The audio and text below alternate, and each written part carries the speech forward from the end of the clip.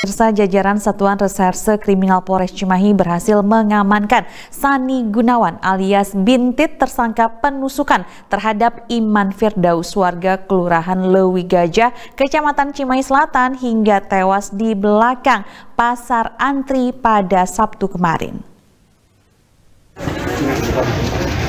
Peristiwa penusukan yang terjadi di sekitar pasar antri baru pada Sabtu malam kemarin berawal saat korban bersama belasan temannya tengah berkumpul dengan menenggak minum-minuman keras jenis tuak.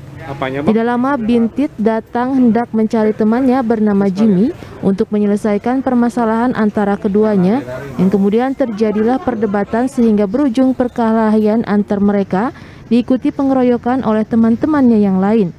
Dari tragedi tersebut terjadilah penusukan yang dilakukan pelaku dengan menggunakan pecahan gelas yang ada di TKP. Pertama permasalahanmu sama siapa itu? Jimmy. Sama Jimmy. Iya. Apa permasalahanmu?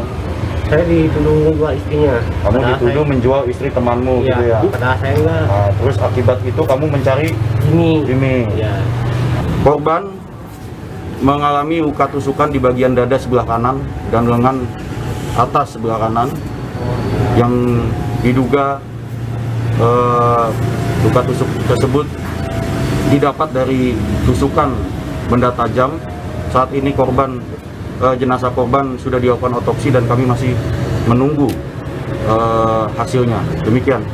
Akibat penusukan tersebut, korban mengalami luka tusukan di bagian dada sebelah kanan dan lengan atas sebelah kanan.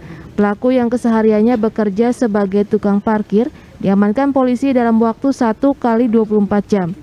Dan saat ini mendekam di tahanan Mapores Cimahi untuk mempertanggungjawabkan perbuatannya dan dijatuhi pasal 351 KUHP dengan ancaman hukuman pidana kurungan paling lama 6 tahun.